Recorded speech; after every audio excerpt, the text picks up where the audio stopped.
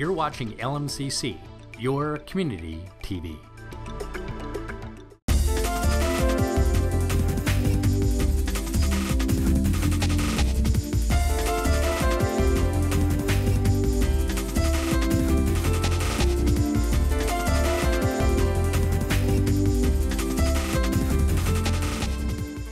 Welcome to the Pulse. Joining me today is Julie Sjordal, who is the CEO and Executive Director of St. David's, which is an amazing place for early childhood development, preschool, so many things, and that's what we're going to cover today. So, first of all, Julie, welcome to the program. Thank you so much. I'm happy Now- to be here. Tell me how you got started with St. David's, because it's a very interesting story. Mm, thank you for asking. Yeah, I have a long history with St. David's Center. My little sister, who is 50, has Down syndrome, and so she was born in the 60s when children with disabilities, children born with disabilities, were often institutionalized. And my parents, who really had five other children, really didn't know anything about um, the uh, about Down syndrome. Started, you know, knew they were going to parent her, knew she was going to come home, we were going to love her, and needed a partner on the path. And they learned about St. David's Center, and St. David's was providing inclusive preschool at that time, at a time when when preschool services weren't offered for children with special needs. So St. David's made its way into our families' hearts by virtue of the fact that that this organization so so stepped into our lives and helped us figure out how to um, help Angie have all the opportunities she could have in her life. So long, long time I've known about St. David Center. I never dreamed I would end up working here many, many years later, and then end up in this in the CEO role. And you are just uh, celebrating your 30th anniversary with St. David's, so congratulations on that. That's a really big deal. And you started after college. I did, yeah. So I, I my degrees in education. I taught for a few years after college, and then really realized I wanted to be working more closely with um, families who had children with special needs. So I heard St. David's was hiring, um, starting a new home visiting program, and interviewed for the job, and um, had no idea how it would be a path in which I could learn and grow as a young professional and help the organization learn and grow throughout my career. It's been a wonderful career to be in a place that's growing and thriving and really serving the community in such substantial ways. Sure. And over those 30 years, from what you alluded to, not a lot of services available then. Now, St. David's is amazing. It offers so many different things for the family. Mm-hmm. And why don't you touch on what those are? And specifically, we'll end with the therapies. So yeah, we have grown. I mean, when I started in the organization, we were probably under a two million dollar nonprofit. Our our revenues now today are over twenty two million. So that just kind of shows you the the revenue growth, and and what that means is really a service growth. So we've we now serve over 3,000 children and families across the metro community. We have three core service areas, many programs in those three core areas. We remain an exceptional early childhood education center here at our, on our campus in Minnetonka, serve about three to 400 children kind of in, in any given year and children with and without special needs. So we have an inclusive preschool classroom, just really meeting the needs of all children in that early education experience. Our second core area is called early intervention and treatment, and that's for children who are facing developmental challenges with the goal of intervening as early as possible so that we can see the best outcomes for those children. So that's a range of, of services, some on our campus here, some provided in homes and community sites throughout the metro area. It's anywhere from an autism um, set of autism programs. We have served many children on the autism spectrum to um, a pediatric therapy clinic, occupational and speech therapy.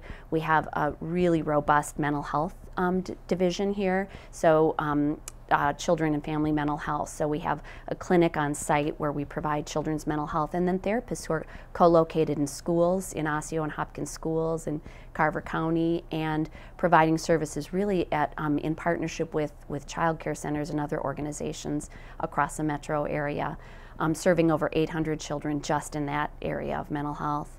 And then we have foster care. All of that is in this set of early intervention programs and home visiting for families who are um, who are young parents and really learning their parenting um, early on and have some some trauma in their own history. So this set of programs really with the goal of intervening as early as possible. And then our third set, our third um, program area is our disability services. So families who have children with special needs and who, as they um, age into adolescence and young adulthood have asked us to stay alongside them, and we have done so through a, a unique set of in-home programs and some supported living and therapeutic recreation for those adolescents whose special needs are enduring and with them for a lifetime.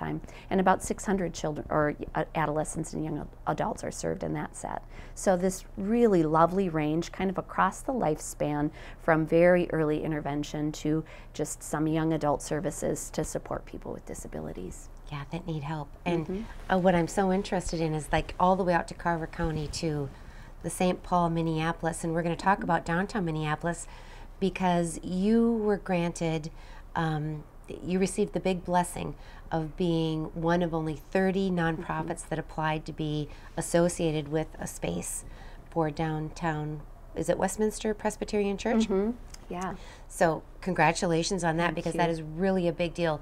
Why don't you tell us about that process, when it's opening, and what we can expect? Wonderful. Yeah, um, we had just basically finished a renovation and expansion at our main campus in Minnetonka, and we heard about this opportunity. We were actually invited into it by Westminster Presbyterian Church. They are um, adding on to their campus in downtown Minneapolis, and they, um, as part of their Open Doors, Open Futures campaign, decided that they wanted to invite a nonprofit um, community serving organization into their space. And so they did their own search and looked at 30 different nonprofits and really evaluated what they were looking for in terms of the kind of organization and that organization's, um, you know, uh, substance and its its quality. And and they decided to invite two nonprofits to submit a formal application. So St. David Center was one of the two nonprofits invited in last fall um, in 2016 and um, and so we submitted our application and as we put that application together a vision just so beautifully came together to create a center um, for child and family well-being for young children and their families who have faced adversity and where trauma's been part of their experience and it's really impacted the parent-child relationship and it's impacted the child's Development, also, yeah. yeah, so we submitted our application, we were chosen. So in fall of 16, we learned that we were chosen and and we started down this path with Westminster of planning our space that, that would be dedicated partner space for us, um, meeting architects and planning it, starting a campaign to raise the funds to, to um, do the build out and equip the site. And, um, and we'll be, we're, we're just finished, just got our keys this morning, are finished the, the um, build out, and we'll be moving in through the month of February and starting services in March. And you'll be serving several hundred children to start with just in downtown Minneapolis. We will. Yeah. yeah. Our, you know, because we have staff located all across the community providing services, many of our staff have said that their families would like to access some of our center based services, for example, our pediatric therapy.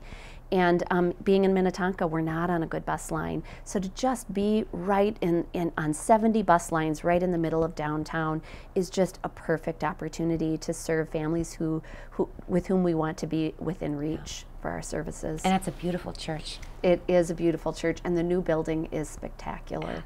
Yeah. Well, congratulations on that. Now, as far as fundraising, you've obviously been super busy this last year. Mm-hmm. Where are we at as far as needing funds in the process for fundraising? If somebody wants to donate, who do they call you? Do they call a fundraising person? How do they contact you? Do we? Uh, we'll put a website up, and if you want to let us know what the website is, phone number, and who they can contact. Great. So yes, we're in the middle of a fundraising campaign. So when we when we um, uh, put the build out plan together, um, we and the, the whole equipping list and all of that, it, we realized we would need about two million just to um, build and equip the site. And we decided to go ahead and raise multi-year operating as well, so that, that the services would be supported through Right. multi-year operating. So we have a four and a half million dollar capital and capacity building campaign for the center, and we're about 2.1 million into that campaign. So we so you could use another two million to reach that goal for that particular yes, we campaign. could. Yeah, and our goal would be to reach it as if possible by the end of 2018, maybe a little bit into 2019. But we're really running at our fundraising in in this um, calendar year. And absolutely, donors can call us at, at our number at 952 939 0396 and either ask for myself or Maureen Walsh, who is our Chief Advancement and Strategy Officer. Okay, and who are you also in charge of the fundraising campaigns? Yeah, as a CEO, you know, you always Overseeing, are. As, yes. Yep. Um, and my my dear partner and um, very um, very capable colleague at running campaigns is Maureen Walsh, and she's Okay. she's working with a committee, a really dedicated committee of volunteers who are very Are doing the fundraising? absolutely, yeah, very excited about this project and are getting behind it in every way. Sure, Mm-hmm. sure. Well, that sounds fabulous. I know that we're going to be talking to Kara Benoit, and I know that she's going to discuss specifically the different therapies that we have for children, Mm-hmm. and you know the difference that that can make in their life.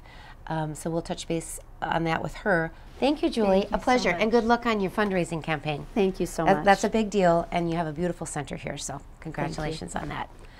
Up next, we'll talk to Miss Benoit, and we'll see you back here in one moment. Here's what's coming up on First Responder TV. I'll talk with the Three Rivers Park Police Chief, Hugo McPhee. Want to become a volunteer firefighter but don't know where to start? We'll learn all about the recruitment process and how you can make firefighting part of your life.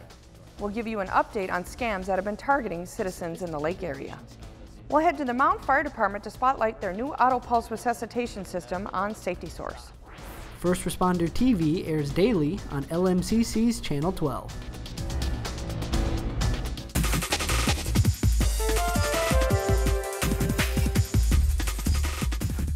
Welcome back. I'm here with Kara Benoit, and she is the director of special therapies for children, which include, um, I guess the terminology is pediatric therapy. So, Kara, if you can tell us exactly what that is and what that means.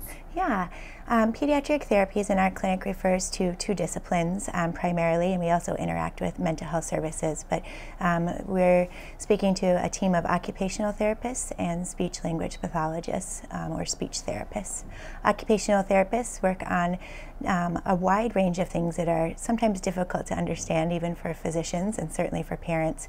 But primarily, they're working on the development of fine and gross motor skills, and then how children interact and perceive their world through their sensory based systems. So, how they hear, smell, um, feel things within their world and process that information.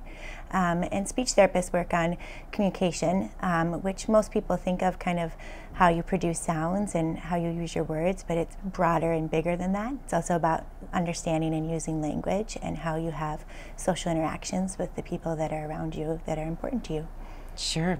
Now, one of the most important things is diagnosing or noticing that there might be some sort of developmental issue. Mm-hmm. And so, can you speak a little bit about what we're looking for, what ages certain things might show, that we might need to actually maybe have something diagnosed or checked or provide some extra support for the children?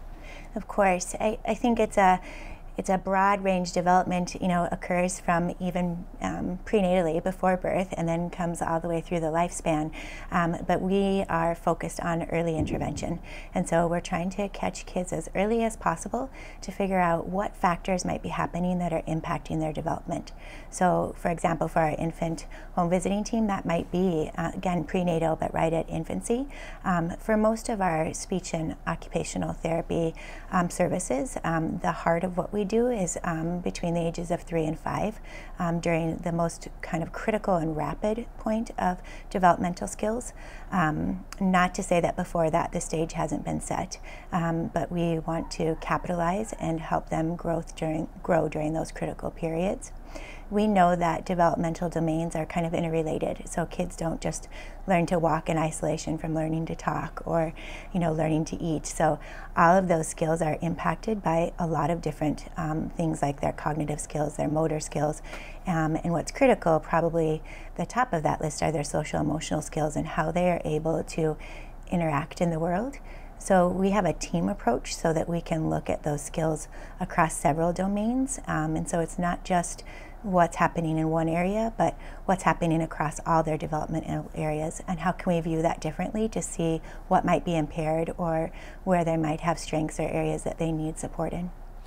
What might a parent be noticing that would prompt them to get a hold of St. David's Center? What, at what age and what might they be noticing that they're thinking, I, I might need to get some sort of help here? Yeah, it's a great question. If you have parents that are really, we call it attuned, so if they're checked in even with their infant at a really young age, sometimes their gut response is that there's just not something right here. I smile at you and you don't smile back, or you're fussy and I try to help you calm and you're not calming well, and I can't figure out why yesterday this approach worked to help you calm down and today this doesn't. Or I noticed that you were doing this for a couple of days as an infant and now I don't see it anymore. Um, often though it doesn't come until uh, you know um, children are a little bit older so that parents are kind of watching for those developmental milestones that their pediatrician and their friends and other people in the community are helping guide them. So it might be i'm not hearing those early first sounds at 9 to 12 months and i'd like you to be trying to use those first words or first sounds or you're not um, beginning to crawl and that concerns me. Um, but what we find is usually if parents feel that they have some kind of gut response to this doesn't quite feel right, that they're usually right, and the questions that they're asking may not be um, the perfect question to ask, but it guides us to ask them additional questions and help them investigate. Sure, sure. And then what have you seen and what do you experience when, hopefully, in a perfect world, it's diagnosed very early? And I don't know if we want to touch base on that in part B of this question the difference between early catching and early help versus later. Um, what differences have you seen that it can make these special therapies that you do have for the special needs children? Yeah, as I mentioned, if caregivers are really attuned, then they notice these difficulties. If they're not, or if they just don't understand what they're seeing, um, early intervention is critical because, again, we're looking at supporting their relationship across all areas of development. So if parents aren't understanding that, then children um, sometimes develop what we call maladaptive behaviors. So they, um, a parent does something, a child does something in return, and if that behavior isn't meaningful and get what they want, then they'll develop behaviors like a tantrum or a pulling out of that relationship that doesn't allow them to continue to develop the other skills that come before after that skill or come around it. So if children do not receive early intervention, then later on what that looks like or what typical people would refer to as big negative behaviors. So they might be fairly explosive, they might avoid tasks, they might have trouble paying attention, they might have big tantrums. So when we don't see early intervention come on board, um, those types of behaviors start to emerge and then it really impacts relationship. So then further development doesn't occur because your developmental partners, your teachers, your parents aren't alongside you because they don't understand those behaviors sometimes. Sure. And then uh, that's their only way if they don't learn something different from coming here to cope then Yes. that's the only Mhm. thing that they know to do that and that's frustrating for everybody Right. We're trying to set the stage and build success as early as possible so that they can all feel good about that development. Yeah. well that sounds pretty wonderful and how uh, how is the special area that you um, are in charge of going to be just expanded same program is it going to be different for the new location that's going to be in in minneapolis? Yeah, we it will be um, slightly expanded, not in terms of just overall number of children served, but probably in terms of the complexity of the families. Um, as Julie mentioned earlier, we're on a bus line and we're in a different Yes. demographic, so we're hoping to reach families that sometimes we can't and don't serve well in Minnetonka because of just accessibility. Um, with that, we um, know that there will be some complexity. So families that have experienced poverty, children that are experiencing trauma or abuse. Neglect. And so our therapists will have a broad range of expertise to kind of address that complexity that is slightly different than a child who may have a more typical experience and have developmental delays. Um, and so we're supporting kind of a bigger picture for these children and families. And so um, our services have to be more coordinated so that we're able to provide them access to everything they need. Sure, sure. Yeah. Well, thank you for the work that you do. You're obviously a big blessing to families who come here and need the services at St. David's. So I thank you very much for that and good luck. Thank you very much. Thank you. Thank you for having me. Well, this is Jennifer Ray wishing you a great month, and please check out the website for St. David's. Fabulous place and another gem in our community located right here in Minnetonka. Until next time, Godspeed. Thanks for watching.